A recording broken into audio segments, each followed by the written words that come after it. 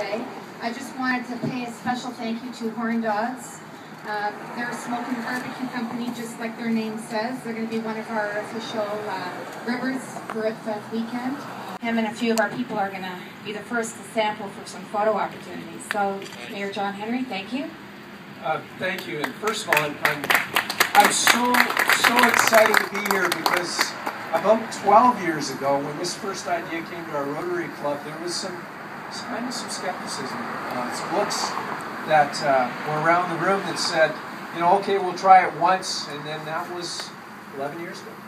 And uh, you know, the great news about being a Rotarian is we do great things around the world. But I'm really proud to be a Rotarian in the city where I have the privilege of being mayor of the best community in all of Canada where we have caring people that give of their time freely to come do it, to come into town and, and uh, raise money to support all the events. And to Tony and to you and your team for what you do each and every day here for the residents of Oshawa. Thank you, and for the Rotarians that give time, uh, not just Ribfest, but all year round, 365 days of the year, to make this community one of those places. You know, it's, it's funny, a few years ago, people would come into the City Hall seldom. Now we have people coming here all the time because they know how great this community is. So, to all the people that are sponsors, to all the workers, to all the Rotarians, to Tony, you and your team here at the car dealership, thank you.